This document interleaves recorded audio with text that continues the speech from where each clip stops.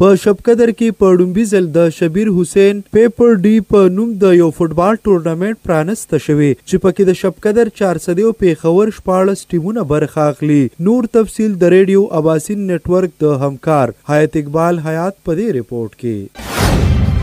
د کراچۍ د نوموړي سماجي او فلاحي شخصیت شبیر حسین پیپرډي په مرسته په سپورټس اسټیډیم شبقدر کې د شبیر حسین پیپرډي په نوم د یو فوټبال ټورنمنټ پرانیسته د نوموړي صحافي او د ټورنمنټ د چیف ارګنایزر فرهاد الله او د مرستیال ارګنایزر بلال خان په نګرانۍ کې وشوه. د دستورې مشر مېلمه د عوامي نېشنل پارټۍ ضلعي رهنما قاسم علي خان محمدزی و. په دې ټورنمنټ کې به د شب قدر، چارسدې او پېښور شپاړس ټیمونه برخه اخلي. د ټورنمنټ افتتاحي میچ د شب قدر پیر قلعه او د میسا فوټبال کلب ترمنځ وشو. په دې موقع د ټورنمنټ چیف ارګنایزر او د شب قدر نوموړي صحافي فراد الله ووي چې د ټورنمنټ بنیادي مقاصد دا دي چې د لوبو میدانونه دې اباد او ځوان کول دې د نشو په ځای په تعمیري سرګرمو کې مشغول وي. دا ټورنمنت چې کوم دی لکه شبیر صاحب تاسو پته را چې هغه یو سماجی شخصیت دی او اوس جی هغه وی چې لکه زمو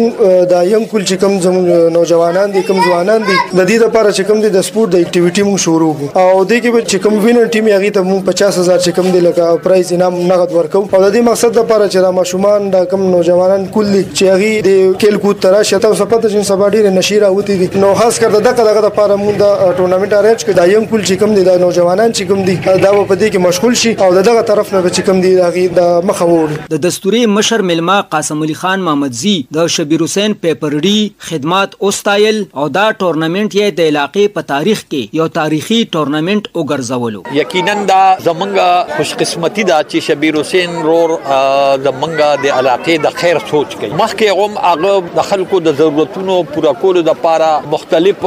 پیکیجز کړی دي اوس د سپورتس په میدان کې دي مطلب دا یو درې سلور ټورنمنت کوي نو ډېر د خوشاله خبره ده پکار دي چې زمونږ خلک په دې سوچ باندې د دا ویلکم کی چیرې د علاقې د لپاره دا یو ډېر ښه سوچ دی او ډېر ښه فکر دی د ستورې ته د پشکلاوتي قومي جرګې حاجي ابراهیم خان اېډوکېټ، د السولېتي وېلفر ارګناېزېشن مېنېجېنګ ډارېکټر زبېر احمد علیمزي او د لایف وېز روهېب سنټر اېم ډي شېراز مومن هم خطاب وکړو او دا ټورنمېنټ یې د یوې صحتمندې معاشرې لپاره ډېر اهم وګرځولو. حیات اقبال حیات، اباسین رېډیو نېټورک، شب قدر.